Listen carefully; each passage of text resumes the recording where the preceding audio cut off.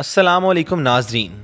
آج کی اس ویڈیو میں ہم کراچی سے نکلنے والے تیل اور گیس کے بارے میں بات کریں گے اور آپ لوگوں تک معلومات فراہم کریں گے۔ ناظرین و سامعین، جیسے کہ آپ جانتے ہیں کہ اللہ تعالیٰ نے اپنے بندوں کو ہمیشہ سے نوازا ہے۔ اس ذات نے رزق حلال کا بھی وعدہ کیا ہے۔ اسی طرح رسول اکرم صلی اللہ علیہ وسلم سے مفہوم ہے کہ عمل کا دار و مدار نیتوں پر ہے۔ یعنی آپ کی نیت صاف اور صالح ہو تو اللہ رب العزت وہ عمل آپ کے لیے فائدہ مند بنا دیتا ہے۔ اس کی واضح مثال پاکستان کے اندر گیس اور تیل کی ریسرچ کرنے والی کمپنی کی طرف سے آنے والی وہ بڑی خبر ہے، جس کو سن کر پوری قوم اور پوری دنیا جھوم رہی ہے۔ تو اردو مزہ نیٹ ورک کے اپنے تمام سامعین کو خوش آمدید کہتے ہیں اور آپ کو ایک اور بڑی خبر سے آگاہ کرتے چلیں۔ پاکستانی زمین نے پاکستانیوں کے لیے اپنے تمام خزانے باہر لا پھینکے ہیں۔ جیسے کہ آپ کو پتہ ہے، آج کل پی ٹی آئی کی حکومت ہے، جس کا لیڈر عمران خان ہے، جس کے اقتدار کے آنے کے بعد جن کمپنیز نے آئل اور گیس کو ڈھونڈنا شروع کر دیا تھا، ان کو بہت بڑے گیس اور آئل ریزرز ملے ہیں۔ اور اس کی وجہ سے پاکستان کی معاشیت کو کیا ایج ملے گا اور اس کا کیا امپیکٹ ہوگا؟ ان تمام باتوں کا جوابات ہم آپ کو اپنی ویڈیو میں دیں گے۔ لیکن آگے تفصیلات میں جانے سے پہلے، اگر آپ نے ہمارا اردو مزہ نیٹ ورک سبسکرائب نہیں کیا، تو کائنڈلی اس کو سبسکرائب کیجیے اور بیل آئیکن کو کلک کر کے ہمارے چینل کا حصہ بن جائیے تاکہ آنے والی وقتاً فوقتاً ویڈیوز آپ تک میسر ہو سکیں۔ جی تو ناظرین اور سامعین، پاکستان کے سمندر میں تیل اور گیس کی تلاش میں ڈرلنگ کراچی سے دو سو تیس کلومیٹر فاصلے پر کی جا رہی ہے۔ اور یہ ڈرلنگ ایک نامور کمپنی جس کا نام ایکزون موبل کارپوریشن ہے۔ یہ کمپنی ستائیس سال بعد پاکستان میں دوبارہ آئی ہے۔ اس کی بہت سی وجوہات ہو سکتی ہیں، لیکن لوگوں کا کہنا ہے کہ یہ سب عمران خان صاحب کی وجہ سے ہو رہا ہے۔ کیونکہ ان کے آنے کے بعد ان کمپنیز نے اپنا رخ پاکستان کی طرف کیا ہے۔ اس کمپنی کا کہنا ہے کہ پاکستان کے سمندری حدود میں بہت سے ذخائر موجود ہیں، جن کی وجہ سے پاکستان کی قسمت بدل سکتی ہے اور پاکستان کے حالات میں بہت بہتری آ سکتی ہے۔ لیکن بہت افسوس کے ساتھ کہنا پڑ رہا ہے کہ پاکستانی میڈیا نے ایسی کوئی خبر نشر نہیں کی، بلکہ ایک انٹرنیشنل گروپ بلومبرگ کی جانب سے یہ بات ظاہر ہوئی ہے کہ پاکستان کی سمندری حدود سے ایکزن موبل کو پانچ سو ملین بیرل کے قریب تیل اور گیس کے ذخائر ملنے کی توقع ہے۔ تو دوستو، آج کل کے حالات و واقعات کے اندر ایسی خبر ملنا خوش قسمتی سے کم نہیں۔ اور اللہ تعالیٰ کا انعام ہے، جس نے ہمیں پاکستان جیسا ملک عطا فرمایا۔ اور دوستو، اگر یہ بات سچی ثابت ہو جاتی ہے، تو اس کا پاکستان کو فائدہ کیا ہوگا؟ اور یہاں آپ کو بتاتے چلیں کہ یہ تیل پاکستان کے پانچ سال کی تیل کی ضرورت کے برابر ہے۔ اور پاکستان سالانہ آٹھ سے دس ارب کا تیل امپورٹ کرتا ہے۔ ایسے ہی خبروں کے ساتھ جیسے عمران خان صاحب اپنے اقتدار میں آئے، اس کے بعد بہت سی کمپنیز نے ان کی طرف رجوع کیا۔ جیسے برٹش ایئر لائن کی بھی بات کی جائے تو برٹش ایئر لائن نے بھی دس سال بعد پاکستان رخ کرنے کا فیصلہ کیا اور انہوں نے بھی ہفتے میں تین فلائٹس اڑانے کا فیصلہ کیا ہے، جو ایک بہت اچھی اور عمدہ خبر ہے۔ اس کے علاوہ پاکستان میں بہت سی خوشحالی آنے والی ہے۔ عمران خان صاحب کے آنے کے بعد بہت سی چیزیں تبدیل کی گئی ہیں۔ اور اگر یہ ذخائر نکل آتا ہے تو پاکستان کو کسی کے پاس بھیک مانگنے نہیں جانا پڑے گا۔ نہ آئی ایم ایف کے پاس، نہ سعودیہ کے پاس، نہ ہی کسی اور ملک کے پاس۔ کیونکہ اس کے پاس خود پچاس ارب ڈالر کا ذخائر اکٹھا ہو جائے گا، جو یہاں کی غریب عوام پر لگائے جا سکتے ہیں۔ اور اس پہ کوئی بھی بیرونی پریشر نہیں ہوگا۔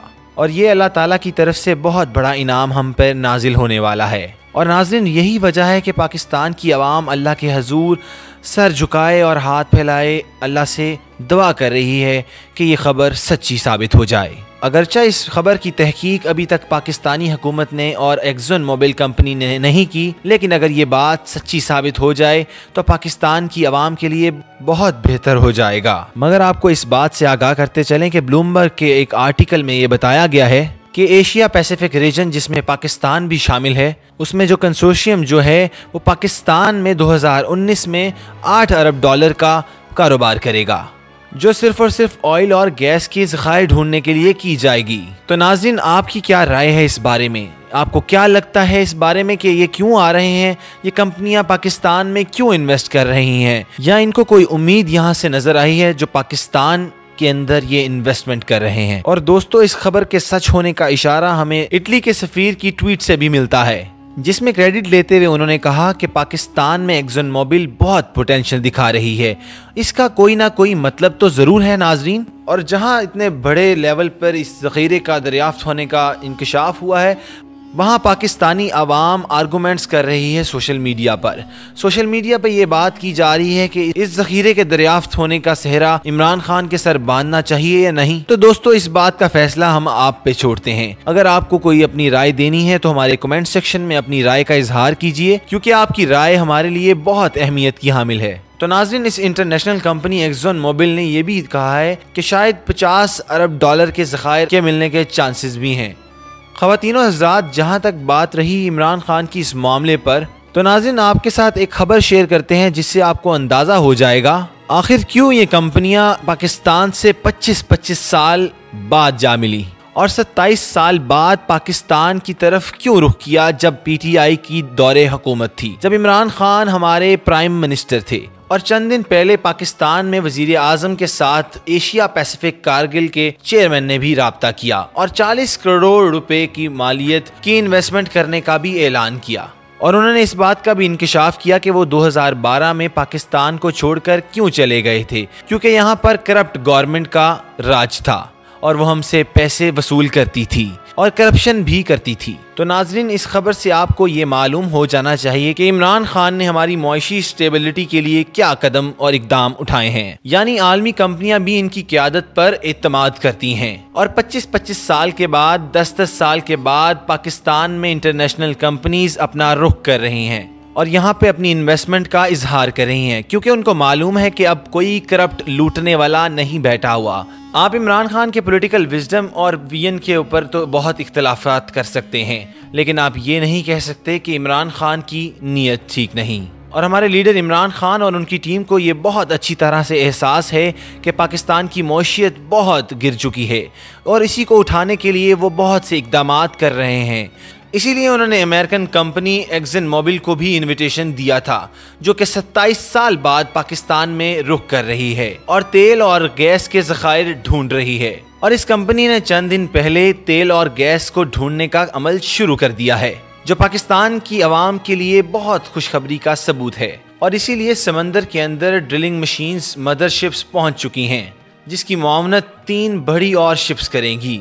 یعنی ناظرین اتنے بڑے پیمانے پہ یہ تلاش شروع کر دی گئی ہے۔ اور کمپنی کی طرف سے ایک اور انکشاف بھی کیا ہے کہ پاک افغان کے اندر دنیا کا سب سے بڑا گیس اور آئل کا ذخیرہ ملا ہے۔ اور اسی طرح ہماری پاک زمین پاکستان سٹیبلٹی کی طرف گامزن ہو جائے گا۔ ناظرین، آپ کو ایک اور بات سے آگاہ کرتے چلیں کہ پاکستان میں امریکن کمپنی ایکزن موبل کے علاوہ Italian E N P company کا بھی کام شروع ہو چکا ہے۔ اور ہماری پاکستان کی حکومت بھی ان کمپنیوں کو فل سپورٹ دے رہی ہے۔ ان کی سپورٹ میں گاڑیاں ٹرکس ہیلی کاپٹرز اور بہت سی مشینری بھی انہیں پرووائڈ کر رہی ہے۔ جس سے ان کا تیل نکالنا آسان ہو سکتا ہے۔ ان کو ہیلی کاپٹرز بھی دیے گئے ہیں جو سمندر کے اندر سے گاربیج نکلے ہوئے کو سمندر کے اندر واپس پھینکتے ہیں۔ اور پی ٹی آئی گورنمنٹ نے آف شور کمپنیز کے ساتھ بھی جو ڈرلنگ کا کام کرتی تھی، جو تیل اور گیس نکالنے کے ماہرین تھے، حکومت نے ان سے بھی رابطے کر لیے ہیں۔ تو یہاں پہ ایک سوال پیدا ہوتا ہے کہ اگر پاکستان کے اندر سے پچاس کروڑ بیرل کا تیل نکل آتا ہے، تو یہ اگلے دن ہی مارکیٹ میں نہیں آ سکتا۔ اس کو مارکیٹ میں آنے کے لیے کئی سال درکار ہو سکتے ہیں۔ اور اگر یہ کمپنیاں ایکزون موبل اور اٹیلین کمپنی تیل نکال لیتی ہے، تو پاکستان کے پرائم منسٹر اس کے ایشو آرڈرز دے دیں گے اور پاکستان بھر میں اس کی سپلائی عام ہو جائے گی۔ ناظرین، بے شک اللہ تعالیٰ نے پاکستان کو بہت سی نعمتوں اور خزانوں سے نوازا ہے، لیکن ہمیں ایک نیک نیت والا حکمران ضرور چاہیے جو آ کے پاکستان کی معاشیت سنبھال لے۔ اور شاید یہی وہ لمحہ ہے جس سے پاکستان کی تقدیر بدل سکے۔ اور جیسا کہ ہم دیکھ رہے ہیں کہ معاشیت کے اوپر بھی پازیٹیو انڈیکیٹرز آ رہے ہیں۔ اور پاکستان جیسے ملک میں بین الاقوامی سرمایہ کاری واپس آ رہی ہے۔ اس میں کوئی شک نہیں ہے کہ پاکستان کے حالات بہت خراب ہیں، لیکن آہستہ آہستہ انشاءاللہ اللہ کے فضل و کرم سے یہ حالات بہتر سے بہتر ہوتے چلے جائیں گے۔ اور یہاں پاکستانیوں کو یہ کرنا ہے کہ ان کو صبر سے کام لینا ہے اور اللہ تعالیٰ کے آگے دعاگو ہونا ہے کہ ہم پاکستانیوں کو اور پاکستان کو ہمیشہ سلامت رکھے۔ اور ناظرین، یہاں پہ میں اپنی ویڈیو کا اہتمام کرنا چاہوں گا۔ اور ایک بات سے آپ کو آگاہ کرنا چاہوں گا کہ اگر ابھی تک آپ نے ہمارا اردو مزہ نیٹ ورک سبسکرائب نہیں کیا تو اس کو سبسکرائب کیجیے اور بیل آئیکن کو کلک کر کے ہمارے چینل کا حصہ بن جائیے تاکہ آنے والی وقتاً فوقتاً ویڈیوز آپ تک بلا تعطل پہنچ سکیں۔ شکریہ۔